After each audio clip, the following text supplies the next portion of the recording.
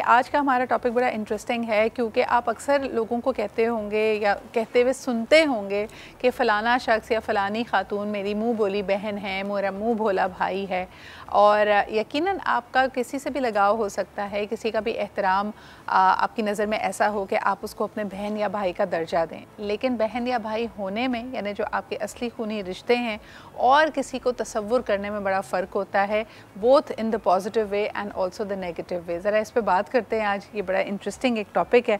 बहन भाई होना और बहन भाई जैसा होना बहुत मुख्तलिफ़ चीज़ें हैं। आज हमारे साथ मौजूद हैं Zainab Ansari is a very dear friend and also a D E I expert reformer public speaker बहुत शुक्रिया आपकी मौजूदगी का। उमैर जालिया वाला भी हमारे साथ मौजूद है। उनसे भी पूछेंगे कि अब जबकि वर्क इन्वायरमेंट्स इतने फॉर्मलाइज हो गए हैं चेंज हो गए हैं, चाहे नब्बे की दिहाई में हम देखते थे कि ज़्यादातर लोग यानी in the work environment colleagues के साथ अगर आपका एक प्लेटोनिक इज़्ज़त और एहतराम का रिश्ता है उसमें भी आ, भाई बहन का रिश्ता बना लेते थे या कहते थे भाई ये बिल्कुल मेरी बहनों जैसी है फ़लाना धमाका। ये एक एक जेस्चर होता था जिससे आप तज़ीम और अपने एहतराम का यू नो इजहार करते थे। लेकिन क्या अब इसकी गुंजाइश मॉडर्न डे वर्क इन्वायरमेंट्स में है? क्या इसको काबिल कदर निगाह से देखा जाता है या इसको डिस्करेज किया जाता है? ये भी हम इनसे जानेंगे। मैं इसी बात से शुरुआत कर लेते हैं। यानी मुझे पता है कि हमारे फादर्स जब काम करते हैं अपने अपने प्रोफेशनल लाइफ में अक्सर किसी फ़ीमेल कॉलीग को अपनी बहन के हवाले से ही इंट्रोड्यूस करते थे। आज हम ऐसा कम देखने में आता है या आपको लगता है कि इसको मायूब समझा जाता है? जी आज इसकी ज़रूरत भी नहीं रही। आज बहुत सारी खवतिन काम पे होती हैं बहुत ज़्यादा आप जानती हैं शराब बढ़ गई है वर्क प्लेस के ऊपर और ये करने की ज़रूरत नहीं है। आ, लेकिन पहले यकीनन मुझे भी अपने आपने याद दिला दिया अपने पेरेंट्स के वक्त का जब अब्बा काम करते थे। तो यूजुअली एक सिस्टरली टाई होता था और ब्रदर्स के तौर पे ट्रीट किया जाता था। आ, इतनी कम होती थी वर्क फोर्स के अंदर कि यहाँ तक कि सीनियर बॉस एक फादरली फिगर के तौर पे होता था। आ, लेकिन आज जो वर्क प्लेस है वो बिल्कुल इसको डिस्करेज करती है बल्कि कैंपस के ऊपर भी आपको याद होगा कि हमारे वक्त के अंदर बहुत ज़्यादा होता था भाई बहन बनाया हुआ होता था लेकिन आज नहीं इनक्रेज किया जाता क्योंकि जनरली ख़वान का मिलाप मर्दों के साथ गुफ्तु एक्सेप्टेड है उनका फोर फ्रंट पे खेलना उनका परफॉर्म करना और उनका इक्वली ट्रीट होना अब ज़्यादा कॉपरेट के अंदर तो बहुत ज़्यादा एक्सेप्टेड है और कैंपस भी उसकी अक्सी करता है। अच्छा मैं जिस तरह हम नाइन्टीज़ की बात कर रहे हैं ना I remember being in school और नाइन्टीज़ में बड़ा मशहूर यू नो सिटकॉम आज भी जो लोगों को बहुत पसंद है फ्रेंड्स आया करता था। और मुझे याद है कि my parents specially my mother had a huge problem with that क्योंकि उस वक्त भी पाकिस्तानी इन्वायरमेंट के लिए, हमारे कल्चर के लिए mix gender friendships was something very unique, something very alien and in a lot of quarters very unacceptable. आज भी है आज भी मैं देखती हूँ कि अक्सर जो हमारे यहाँ स्कॉलर्स हैं उनके पास ये सवाल आता है कि जी हमारे यहाँ अब क्योंकि मिक्स जेंडर यूनिवर्सिटीज़ में कॉलेजेस में लड़का लड़की साथ पढ़ते हैं तो क्या एहतराम का दायरा होना चाहिए? So people are very confused with these subjects Zainab कैसे देखती है? और ख़ास तौर पर जेन जी अर्बन यूथ को रूरल यूथ को कोई फ़र्क तुम्हें नज़र आ रहे हैं? फ़र्क तो डेफिनेटली है क्योंकि जेंजी की ज़्यादा एक्सपोजर और आउटरीच भी है सोशल मीडिया पे उनकी ये एक जनरेशन है that grow up on social media so उनके हम्म। जो व्यू पॉइंट है ना दुनिया की वो बहुत फ़र्क है हमसे। पहली चीज़ दूसरी चीज़ बाउंड्रीज़ ये जो कन्वर्सेशन है बाउंड्रीज़ की ये कन्वर्सेशन है जो पिछले आई थिंक पाँच छः साल में ही शुरू हुई है। अच्छा मुझे लगता है कि ये ना किसी को भाई बना लेना बहन बना लेना ये भी एक तरह से हद मुकर करना ही था। और उसका एक तरीक़ेकार मुख्तलिफ़ था। यानी to sort of discourage somebody कि भाई ये कहीं और तरफ़ नहीं जा सकता this can not turn into a romantic relationship आप मेरे भाइयों जैसे हैं। यानी उमेर इन अदर वर्ड्स ये पाकिस्तानी अंदाज था किसी को यू नो फ्रेंड जोन करने का। वट यू से या दुनिया को ये बताने का कि भाई बहन है लेकिन असल में कुछ और? ओ माय गॉड यानी आपने तो उसको एक और लेयर दे दी शक और शुभात की। लेकिन please some comments on the fact do you think it was a way to friend zone someone right और मैं ये मैं ये बात का इशारा करना चाहूँगा कि मैंने जो ऐसे रिश्ते देखे देखे उनमें बहुत रिगार्ड देखा वो बहुत हाँ. एक दूसरे के लिए करते हैं मुँह बोले भाई मुँह बोले बहन और कहीं ना कहीं जो आप बात करिए शायद ये डिज़ायर भी होती है जिसको कैप कर दिया जाता है ये कह हम्म। के कि उससे आगे नहीं बढ़ेंगे लेकिन it's it's hurtful if you look at it from the other side एक ना एक जो है ना उसमें खेला जा रहा होता है और उसका इंटरेस्ट होता है और उसके लिए वो तमाम का तमाम रिलेशनशिप जो है ना वही मायने रखता है no matter how much the time so ये अनहेल्दी है ये अच्छा लेकिन मुझे ना मैं मैं I am just being a little nostalgic right now कि अगर हम 90s को 80s को रिमाइंड करें यानी मुझे ऐसा लगता था उसमें हम जब किसी भी शख्स को किसी अजनबी शख्स को किसी रिश्ते से पुकारते थे तो एक तो उसमें हद मुकर होती थी दूसरा उसमें खलूस ज़्यादा आ जाता था। अब वट यू थिंक जैनब कि हमारे पेरेंट्स की जनरेशन अगर यू you नो know, दो दोस्त हैं और उनकी आपस में मुलाकात होती है तो वो अपनी वाइफ यानी उनकी वाइफ को दोस्त हमेशा भाभी कहकर ही पुकारता था।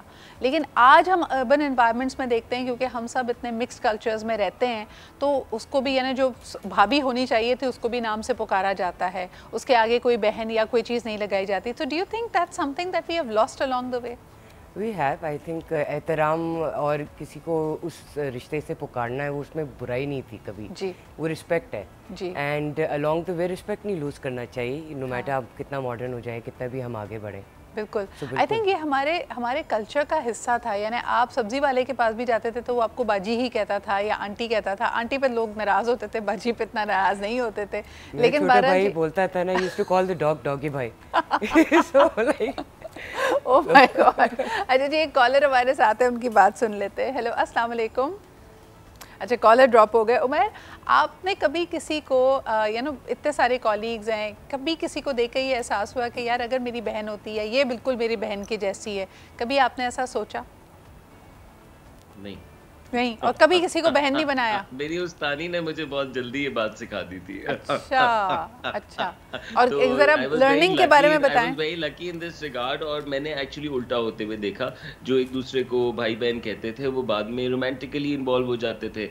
And it would always you know कहने की ज़रूरत नहीं थी क्योंकि जिस माहौल में काम किया उसमें दोस्त होना एक्सेप्टेड था कॉलीग होना एक्सेप्टेड था। जहाँ मुख्तलिफ़ लफ्ज़ एक्सेप्टेड होते ना सिद्रा वहाँ ये लफ्ज़ नहीं इस्तेमाल करने पड़ते कि मेरी हम्म। बहन हैं ये मेरे भाई हैं। um, तो I was very lucky like that very interesting Zainab आपने कभी किसी को किसी भी कॉलीग को या किसी शख्स को सिंगल आउट करके कहा हो कि यार ये बिल्कुल मेरे भाइयों जैसे या किसी से ऐसी फील आई हो कि यार एक एल्डरली ब्रदर का इसने रूप इख्तियार किया हुआ है या ये ये no I feel like a mentor to him तो ये मेरे छोटे भाइयों जैसा है मैं इसको गाइड करूँ? एक्चुअली मेरे साथ क्योंकि मेरे बड़ा भाई नहीं था तो I use to actually look out for older brother figures but बहुत रिसेंटली मेरे साथ एक हादसा हुआ है जिसमें जिनको मैं भाई समझती थी बीस साल से, उन्होंने मुझे शादी की प्रपोजल दी। तो दैट्स व्हेन आई रियलाइज़ कि नहीं, ये ये एक्चुअली बिल्कुल गलत बात है। मैंने अपनी हँसी को म्यूट कर लिया है, हालाँकि वो बहुत ज़ोर से मुझे लगता है उन्होंने कह, कहा लगाया है। ये कैसे हुआ जैनब यानी बीस साल, यानी नॉट इवन एक, दो साल की बात नहीं है ये। ये ये एक्चुअली आई रियलाइज़ के उसको वही समझा होगा कि नहीं इतनी क्लोजनेस इंटी इतनी इंटरमेसी है तो डेफिनेटली ये सवाल पूछा जा सकता है बट मैंने अपना बाउंड्री हालाँकि अपने तरफ़ से जैसे आपने कहा फ्रेंड जोन किया है भाई जोन मैंने किया था बट हाँ. उसके बावजूद ये हुआ तो दैट्स वन आई रियलाइज़ कि नहीं कोई भाई एक्चुअली होता नहीं आपका अपना ही भाई आपका भाई होता अच्छा, है। In in in retro respect and I am not blaming you for it Zainab कभी दोबारा एक नज़र डाली हो जब आपके साथ ये यू you नो know, ये वाक़ हुआ या उन्होंने अपनी अपनी ख्वाहिश का इजहार किया तो कभी बैठ के सोचा कि यार हो सकता है मेरा फलाना जेस्टर मिसरीड कर लिया गया हो या मुझे अपने कॉन्डक्ट को और ज़्यादा क्लियर करने की ज़रूरत थी? क्योंकि ख़वान अक्सर फिर बैठ के सोचती तो है ना इस बारे में। बिल्कुल बिल्कुल आप बिल्कुल सही बात करिए बिकॉज़ जब मैंने देखा है रेट्रोस्पेक्ट में तो मुझे ये समझ में आया कि मैं बहुत अपनी ज़िंदगी की कहानियाँ शेयर कर रही हूँ चीज़ें शेयर कर रही हूँ एज ये सोचते हुए कि ये बड़ा भाई है। विदाउट रियलाइजिंग एंड मेंटोर है विदाउट रियलाइजिंग कि इसको किसी और डायरेक्शन में जा सकता है।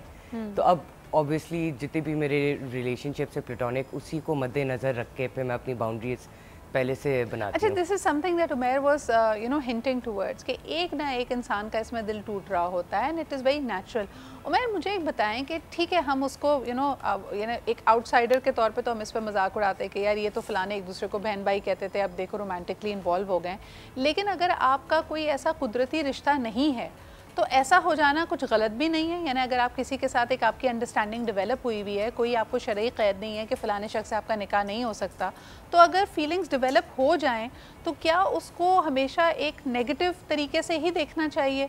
या वही आपकी वाली बात कि एक शख्स की तरफ़ से हद मुकर्र थी, दूसरा शख्स उसको लांग कर ज़्यादा इन्वॉल्व हो गया तो तकलीफ़ उसी को होगी? आई थिंक केयरफुल होना चाहिए जहाँ पे ये फीलिंग्स का मामला हो, क्योंकि वो जैसे मैंने कहा ना, जितना भी टाइम आप कर लें और जैसे अभी अभी हमने एक मिसाल भी सुन ली तो आप देख लें कि ये होता है। और ये हर्टफुल होता है और फिर आप जब ये सोचने पे आए ना कि क्या एक्शन ने उनको तो सारे एक्शन ही फिर वैसे हो गए। Just taking care of somebody listening to somebody sharing things लेकिन आई थिंक एक डिफरेंट भी इसमें आप देख सकती हैं। जिन लोगों के सिबलिंग्स नहीं होते जिनके क्लोज टाइज इस तरह नहीं है बाहर होते हैं वो खुद अकेले यहाँ पाए जाते हैं या जिस भी जगह पे हैं तो they naturally find their siblings उसको आप कह सकते हैं जिस तरह फ्रेंड्स में आप देखते हैं अच्छा आई डोंट वांट टू बिल्कुल सही कह रहे हो मैं और तभी मैं इसको एक नेगेटिव लाइट में नहीं देखना चाहती। हमारे माशरे में आपको सैकड़ों ऐसे वक्त आते हैं मकाम आते हैं, जहाँ मर्द की ज़रूरत पड़ती है। और अगर आप एक ऐसे हाउस होल्ड से हैं जहाँ पे मिसाल के तौर पे एक विडो मदर है उसकी दो बेटियाँ हैं तो ऐसे सोशल सेक्टर्स हमें हमें अपने अपने माशरे को इतना कड़वा इतना टॉक्सिक भी नहीं समझना चाहिए। लोग वाकई रफाई तौर पर वॉल्टरली एक भाई बनकर उस वक्त आपकी जिम्मेदारियाँ उठाते हैं। लाइक तो खुदा ना खास्ता कोई मेडिकल इमरजेंसी हो जाए किसी का इंतकाल हो जाए अब आपको पता है कि सैकड़ों ऐसे या कोई पुलिस का मामला हो जाए तो अक्सर मोहल्ले वाले ही सही या दूर परे के लोग जो आपसे जिनका कोई खूनी रिश्ता रिश्ता नहीं है। वो आगे बढ़कर आपकी मदद करते हैं और कई दफ़ा मुझे लगता है भाइयों से बढ़कर मदद करते हैं। अल्लाह ताला आप पे करम करता है कि आपको कई रिश्तों के साथ इस दुनिया में भेजता है और जो रिश्ता आपके पास नहीं होता कभी कभार उसकी आप कमी महसूस करते हैं। ब्रेक पर जाने से पहले हम बात कर रहे थे कि हमारे कल्चर की एक बड़ी अच्छी बात यह है कि we have a strong sense of community तो अगर कोई ऐसा घराना आपको नज़र आता है जहाँ पर सिर्फ़ मर्द हजरात हैं या सिर्फ़ ख़वातीन हैं so wherever need is लोग पिचिन करते हैं। पास पड़ोस के लोग, दूर परे के रिश्तेदार, वो कोशिश करते हैं कि आपके अच्छे बुरे वक्त में आपके साथ आके खड़े हों। आप अक्सर देखेंगे ऐसे हाउस होल्ड जहाँ पर सिर्फ़ एक खातून है and for whatever reason अगर उम्र ज़्यादा होने की वजह से या किसी बीमारी की वजह से she is been rendered unable तो कोई ना कोई मोहल्ले का या कोई शख्स आगे स्टेप इन करता है। इसी तरह हम ब्रेक पे जाने से पहले बात कर रहे थे कि अगर ऑल वुमेन हाउस होल्ड है और खुदा ना खासा कोई पुलिस, कोई कचहरी, कोई यू नो किसी की फौतगी हो गई है, इस तरह की सूरत हाल जहाँ एक मर्द की ज़रूरत पड़ती है तो लोग या तो आप साल साल से उनको जानते हों और वो एक भाई बनकर, एक पिलर बनकर सामने आते हैं, या फिर वक्ती तौर पर भी लोग उस वक्त, उस मौके की नज़ाकत को समझते हुए आगे आते हैं। लेकिन जब हम ये बात कर रहे थे इंटरेस्टिंगली जैनब ने मुझसे ब्रेक में कहा कि, सिद्रा, ऐसे सिनारियोज़ में जब आप मोस्ट वलनरेबल हों तो मैनिपुलेटर्स और एक्सप्लॉयटर्स भी आगे आते हैं। जैनब मैं चाहूँगी कि इस पर थोड़ी सी आप बात करें। आप कह रही हैं कि ख़ास तौर पर जो एक्सप्लॉयटेटिव माइंड होता है, जो मैनिपुलेटर होता है, वो टारगेट करता है किसी ऐसी खातून को किसी ऐसे हाउस होल्ड का जहाँ कोई मर्द ही नहीं है? बिल्कुल एक तो जहाँ इनहेरिटेंस का सिचुएशन है जहाँ स्पेशली फैमिली मेंबर्स की बहुत केसेस होते हैं हम्म। कि जहाँ फादर है या ब्रदर है द मेल मेंबर्स वो उनकी फौतगी हो जाती है। तो ऐसे सूरत हाल के अंदर के इन लॉज आके हावी हो जाते हैं या हमला करते हैं आपके उस पर कब्ज़ा कर लेते हैं आपके प्रॉपर्टी में क्योंकि आप सडनली वनरेबल हो जाते हैं सोसाइटी के आँखों में। एंड ऐसी केस अगर आप लकी हैं, आपके नेबर्स हैं, आपके ख़ानदान वाले हैं जो आपको प्रोटेक्ट करें, वो एक बहुत बेहतरीन सिचुएशन मगर ज़्यादातर ये रेकमेंड मैं हमेशा करती हूँ कि बाउंड्री रख। के मदद लें ज़रूर क्योंकि आप वनरेबल हैं उस पोजीशन अच्छा और ये बात बिल्कुल सही भी है कि कोई बैंकर कोई इस तरह का शख्स जो जानता है आपकी फाइनेंशियल सिचुएशन को भी और आपकी पर्सनल सर्कमस्टांसिस को भी वो मौके को एक्सप्लॉयट कर सकते हैं। उमेर इस पर आप क्या कहेंगे? क्योंकि now that we are thinking about it मेरे जहन में बहुत सारे ऐसे वाक़ात आ रहे हैं जहाँ पे एजिंग अगर अगर सुपरस्टार हैं म्यूजिशंस हैं, उनके इर्द गिर्द भी आपको लोग नज़र आते हैं जो शागिर्द होते हैं, लेकिन फिर वो क्लेम कर देते हैं कि जी मैं भाई हूँ, मैं फैमिली हूँ, मैं मुँह बोला बेटा हूँ, और वो तमाम फाइनेंशियल स्कोर तमाम जो चीज़ें हैं, उसका कंट्रोल अपने हाथों में ले लेते हैं। इस पर आप क्या कहेंगे? जी, अब ये बड़ा एक इंटरेस्टिंग पॉइंट है कि जितने भी ये मुँह बोले रिश्ते होते हैं ना, सिद्रा टेस्ट ऑफ़ टाइम और टेस्ट ऑफ़ इंटरेस्ट जैसे ही इंटरेस्ट बदलता है वक्त बदलता है तो वो रिश्ते बिल्कुल मुख्तलिफ़ नज़र आते हैं। Far more compare to your blood ties मेरे साथ जब हादसा हुआ जब मैं कोविड आया हमारा काम उड़ गया पूरा का पूरा मेरा इदारा कर्जे में आया तो मेरे बड़े मुँह बोले भाई थे उस वक्त। लेकिन उसमें से एक ने एक ने पैसे नहीं दिए जो मेरा सगा भाई था उसने पैसे दिए। तो जो आपके सगे होते हैं वो आपके सगे इंटरेस्ट के लुक आफ्टर करते हैं और इसीलिए बाउंड्रीज के जिस तरफ़ इशारा किया जैनब ने बहुत इंपॉर्टेंट है कि आप किस हद तक इन्फॉर्मेशन शेयरिंग करते हैं। और हम इतने वलनरेबल जब हो जाते हैं तो हमें इतना होने की ज़रूरत नहीं है ईमान वालों को। अल्लाह हम्म। आपके साथ होता है। और सारी बातें सबको बताने की ज़रूरत नहीं होती और सबके लिए सब पे रिलाई करने की ज़रूरत नहीं है। यहाँ एक और बात है टाइम ये है कि हमने अपनी लड़कियों को बड़ा कैसे किया है? कि जब मुश्किल वक्त आता है तो वो उनको बिल्कुल बगैर मर्द के चल ही नहीं पाती। सही। आ, इतनी सारी चीज़ें जो कि उनको खुद करने का सेंस नहीं है। ना उनकी तालीम होती है कि वो अपने लिए स्टैंड ले सकें अपने आप को फंड कर सकें उस टाइम के अंदर। अच्छा और तालीम होने के बावजूद भी कई जगह हमारी अपनी प्रोटेक्टिव स्ट्रीक आ जाती है। यानी हमने खुद नो गो एरियाज़ बनाया है अपने पुलिस स्टेशन को अपने यू you नो know, अपनी कचहरियों को अपने वकला के ऑफ़िस को। ये हमने खुद अस्यूम किया हुआ है कि वहाँ पे लड़की नहीं जा सकती और अकेले काम नहीं कर सकती। बहरहाल जी एक कॉलर हमारे साथ है उनकी बात सुनते हैं। हेलो अस्सलाम वालेकुम। हेलो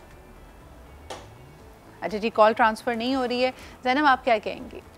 वेल well, एक तो आपके एक पिछला पॉइंट है जो आपने बोला था कि जब कुछ लोग बूढ़े बूढ़े हो जाते हैं तो उस टाइम पे लोग आके फ़ायदा उठाते एक केस हुआ था अमेरिका के अंदर ब्रिटनी स्पेस का बड़ा मशहूर कंजर्वेटिवशिप में थी वो। और उसके अपने अबू ने उसको कंजर्वेटिवशिप में डाला है। तो यूजली यही अगेन वो जो कन्वर्सेशन है कि कोई वनरेबल है कोई सिचुएशन में है वो चाहे बूढ़ा हो चाहे वो औरत हो चाहे वो बच्चा हो वनरेबिलिटी आपके पोजिशन में अगर आप उस सोसाइटी में नीचे सिस्टम है तो दैट बिकम्स अच्छा लेकिन this is very interesting Zainab एक तरफ़ हम कहते हैं कि आप लड़की को पढ़ा लिखा दें या उसको फाइनेंशियली अपना अपने आप को इंडिपेंडेंट कर दें उसको फाइनेंशियली एम्पावर्ड कर दें तो वो ऐसी सिचुएशंस को लड़ सकती है। लेकिन मैं देखती हूँ कि कहीं ना कहीं आप वलरेबल हो जाते हैं। मिसाल के तौर पे आप ओल्ड एज में एज अ सीनियर सिटीज़न आप वलरेबल हो जाएँगे। अगर आप में जिस्मानी ताकत नहीं है और आप ना चाहते हुए भी किसी पर डिपेंड कर रहे हैं तो आपके पैसे आपकी पढ़ाई आपकी समझ बूझ सब साइड पर हो जाती है। उस हम्म। वक्त आप फिज़िकली यू नो आपकी डिपेंडेंस बन जाती है किसी और के ऊपर।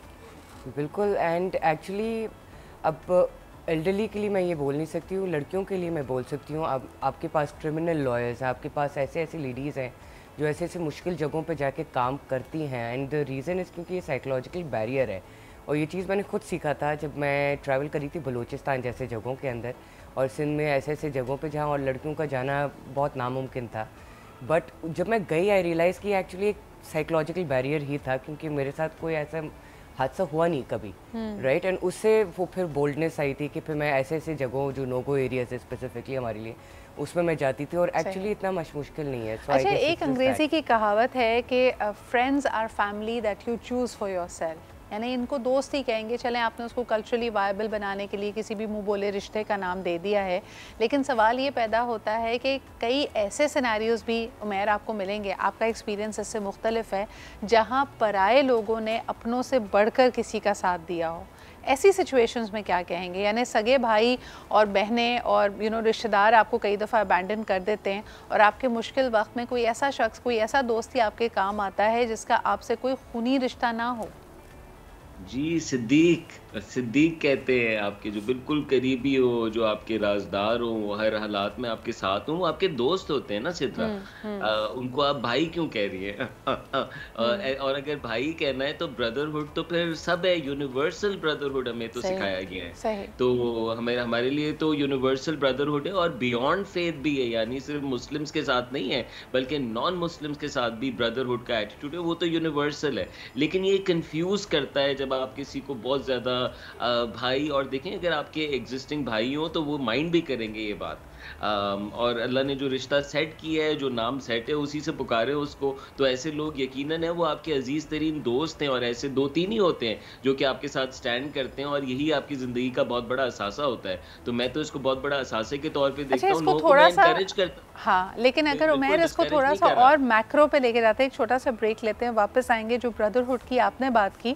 इस पे ज़रा सा मैं टाइम स्पेंड करना चाहूँगी कि अगर हम मुस्लिम उम्मा को देखें we are suppose to be the Muslim brotherhood इसमें हमारी क्या सिचुएशन है? ठीक है कि जी, हम भी बहुत दूर हैं और इस वक्त अगर लेबनान में या फ़लस्तीन में इस वक्त मुश्किल में हैं मुसलमान तो क्या हम उनके लिए वही दर्द रखते हैं? या चलें, ये भी छोड़ दीजिए, अपने मुल्क में ही अगर हम देखते हैं कि पारा चिनार में जो हो रहा है, बलूचिस्तान में जो हो रहा है, हमारे पाकिस्तानी भाई हैं ना तो हमारी दर्दमंदी का, हमारी हमदर्दी का इस वक्त क्या आलम है? आखिरी चंद मिनट हैं शो के तो इसमें ये भी बात करेंगे कि जिनको हम ज़बानी तौर पर अपना भाई कहते हैं। मिसाल के तौर पर ये हमारे पाकिस्तानी भाई हैं, दुनिया में कहीं पर भी मिल जाए, आपको एक उनसीत का एहसास होता है या इसी तरह दुनिया में कहीं पे भी आपको कोई मुसलमान मिले तो आपको एक उनसीत का एहसास होता है। उनका हम कितना दर्द रखते हैं या ये भी सिर्फ़ हम लफ्ज़ी तौर पे कह रहे हैं और इसको हम महसूस नहीं करते। आइए ज़रा इस पर बात करते हैं। जैनब सबसे पहले आप क्या कहेंगे? लेबनान, फ़लस्तीन, कश्मीर, दुनिया के बहुत सारे ऐसे इलाके हैं जिनसे अगर आप दिली या जज्बाती लगाव किसी से रखते हैं and you see them as brotherhood वो तकलीफ़ में हैं। Are we really doing anything about it actually we are not क्योंकि हम एक बॉयकॉट और बैनिंग वाला कॉम बन चुके हैं। It's the most easy thing कि आप जाके कोई एक प्रोडक्ट ना खरीदें। बट उस कैंसिल कल्चर से अगर आप बढ़ के एक्चुअली अपने फंड्स भेजें रिसोर्स भेजें या आप सब एक्चुअल जाकर सपोर्ट करें ऑन द ग्राउंड या आप इस अपने आवाज़ उठाएँ अपने कम्युनिटी में इसके बारे में प्रॉपर तरीके से शेयर करें सिर्फ़ एक फेसबुक पोस्ट से नहीं ये काम चलता है। Right right? सो so, वो काम आई फील लाइक लोग नहीं कर रहे डिसेंसिटाइजेशन बहुत है। Yeah. और क्योंकि लोगों का को डर ये लग रहा है कि वो खुद कैंसिल नहीं हो जाएँगे तो उस चक्कर में लोग बोल रहे हैं बट एक्चुअल एक इंटेंशन मदद करने का नहीं है क्योंकि हमने एक, एक, एक और मुल्क में होते हुए देखा है। उस वक्त जज्बा बड़ा था प्रोटेस्ट मगर थे मगर जब हमारे अपने मुल्क में होता है ना उसको तो हम बिल्कुल ही वो लोग इलोंगेट हो। जाती है चीज़ें तो वही वाली बात कि ये जो करेंसी है ये जो जज्बात हैं ये इतने ज़्यादा देर पार नहीं होते। उमैर आपकी तरफ़ आना चाहूँगी। लोग कहते हैं कि पाकिस्तानियों की सबसे ज़्यादा बुराई पाकिस्तानी खुद ही करते हैं। तो यानी हम कभी कभार हमारा दिल चाहता है कि हम किसी फॉरेन कंट्री में अगर बाकियों को आउटशाइन करना है so we actually put down our other Pakistani brothers and sisters हम खुद ही बैठ के कभी मलाला यूसुफ जई, कभी Sharmeen Obaid Chinoy depending on where we are sitting and who we are sitting with we end up badmouthing our own countryman उस वक्त हमारा ये बहन भाई वाला रिश्ता या ये एहसास कि यार ये अपने ही भाई हैं जिनकी हम बुराई कर रहे हैं, वो किधर जाता है? बस अब इंसान ने ज़िंदा तो रहना होता है ना, सिद्रा। कोपिंग करनी होती है और हम इतने बुरे हालात सहते हैं इस मुल्क में। अभी देखें क्या हो रहा है कल तक। और सुबह देखें तो बिल्कुल बदल जाता है।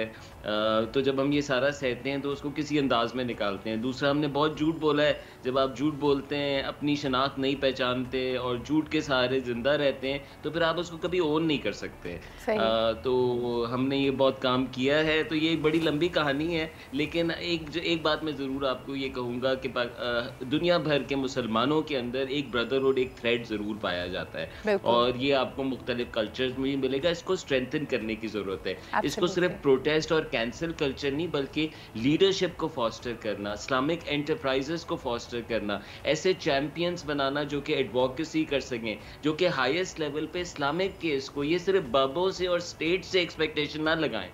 बल्कि इस्लामिक यंगस्टर्स को अगर इकट्ठा किया जाए और उन पे कलेक्टिवली इन्वेस्ट किया जाए because this needs a direction and I would I would take it beyond that आपकी बात में बहुत वज़न है कि बिल्कुल जैसे मुस्लिम उम्मा एक एक लड़ी में पिरोई हुई है हमें एक ब्रदरहुड फील होती है। आई थिंक हमारी कल्चर हमारी ज़बान हमें बाकी लोगों से भी जोड़ती है। अगर आप दुनिया से बाहर किसी बंगाली से मिलते हैं किसी हिंदुस्तानी से मिलते हैं आप कभी उनसे नफ़रत नहीं करते। बहुत शुक्रिया हमारे साथ जैनब और उमेर मौजूद थे। मुँह बोले बहन भाई अगर आप उसको वाकई इज़्ज़त दें, तज़ीम दें तो बड़ा अहम एक रिश्ता हो सकता है। इट इज़ ऑल अबाउट इंसानियत और आपके जज्बात से इसका ताल्लुक है। आपके अपने उसूलों से इसका ताल्लुक है। I hope that you only meet good people and you have good intention for yourself and for others मुझे इजाज़त दीजिए, कल मुलाकात होती है। खुदा हाफिज़।